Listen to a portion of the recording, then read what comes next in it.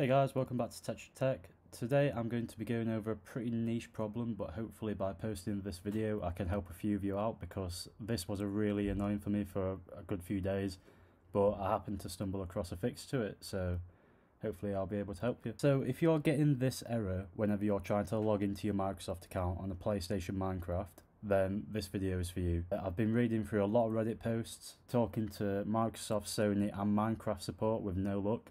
So I just started trying random things, hoping that, that they would work. Watched loads of videos, but none of them really helped. Okay, so the first thing you're going to want to do is delete the game.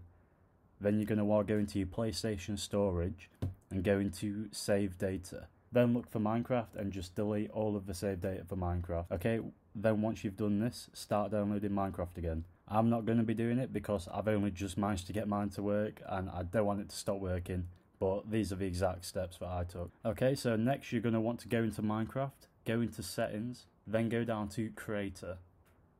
Then you need to delete your old log files.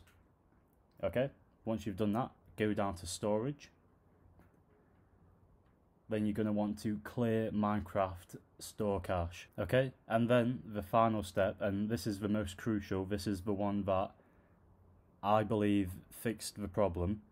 You're going to want to go to General, and then here where it says Enable Cross-Platform Play, you're going to want to turn that off. Then go back to the main menu, and then press Sign In with your Microsoft account. And if you follow the steps, scan the QR code, go to the website or put the, the code in and sign in with your Microsoft account, it should work no problem. At least it did with me anyway. Okay, if this video was helpful, please let me know in the comments. I want to see if this fix works for other people besides myself.